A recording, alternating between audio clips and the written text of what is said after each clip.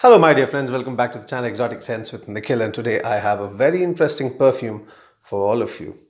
This is a pure oil from the house of Ensar Oud and it's an attar. So basically, it's a blend of different perfume materials. It's a beautiful perfume which comes in a 3 ml format. This is your traditional attar bottle with a plastic dipstick inside, and uh, you just need a little bit of this on your skin. Earlobes, somewhere here, above the collar, under the chin maybe, and somewhere here at the wrist. Just need little amounts of this beautiful, uh, powerful elixir. Uh, this is uh, basically an exotic blend. The leather accord here is definitely the pivotal one, and it's not something uh, which is reminiscent of um, the tan leather sort of accords from uh, your classical leather-based perfumes, leather-based chypre, or uh, some of the modern perfumes with that processed leather sort of vibe, that fine premium leather bag sort of vibe. Uh, you don't get that here, but what you get here, uh, you know, in terms of natural perfumery is a leather accord created with different ouds, premium ouds, Cambodian, Indian and Chinese and you have some ambergris in here, you have saffron and a lot many other things but I'll talk about the notes which are most dominant or, or which can be easily picked out. First of all, this is a very complex blend, not in terms of how it develops on your skin, but the way things have been blended. It definitely shows that this has been done by a master perfumer, all right, a master perfumer who works on traditional blends. So what it has uh, is uh, a leather accord created by uh, a soft barn from the precious Indian oud which was distilled by Ensar himself. There's this sweet caramelic leather, buried leather sort of vibe coming from the Cambodian oud and there is the soft floral accord which gives it that sort of exotic uh, smell coming from the Chinese oud.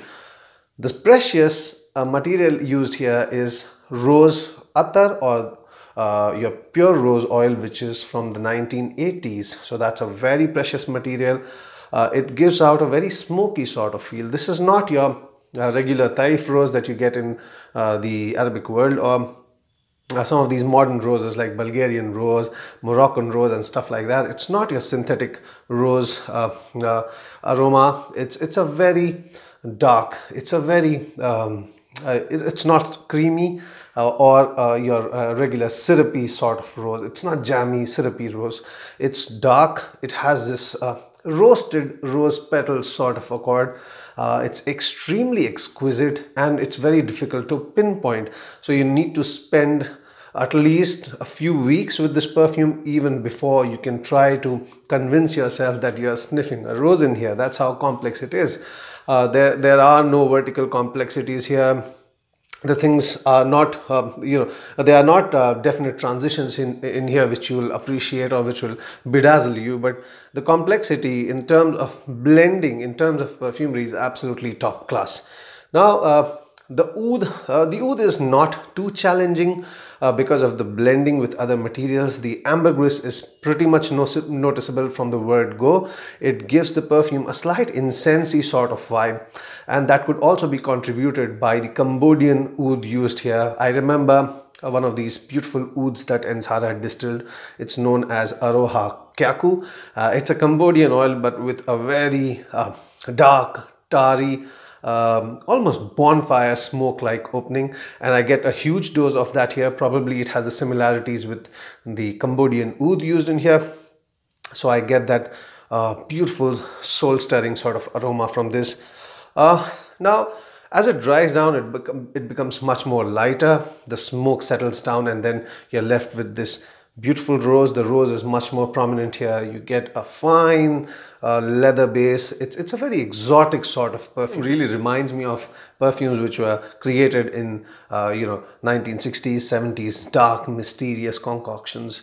Um, it's a very very sophisticated sort of perfume. And if you love dark elements uh, in your perfume you'll definitely enjoy this one uh, it has a very soft sort of presence, so it does not scream, it does not screech, and that's what I like about artisanal attars or fine blends made from pure perfume materials.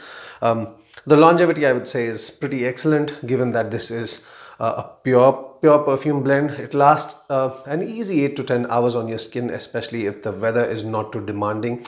It's If it's pleasant or cold, uh, you'd, you'd pretty much, uh, uh, you'd, you'd enjoy this perfume a lot uh, if um, it's slightly windy out there because you can then catch the whiffs of this um, beautiful oriental uh, concoction. Suitability i think this is definitely for the mature audience people who love dark scents or pure uh, materials pure perfume materials or even guys who like the darker stuff from the luxury brands and the niche brands and the indie brands. This is definitely not your regular designer sort of attar or the fancy attar that the young guys and girls use so all in all guys, I give this perfume a solid 8 out of 10. I think it's a it's a beautifully blended perfume, a signature perfume from the house of Ensar Oud with some really precious materials. So if you are someone who enjoys pure perfume materials, especially ouds, please check this one out. So I hope you enjoyed this review guys. I'll be back again on Sunday with a review of Roja's very popular Amber Oud. Until then, take care. Bye-bye.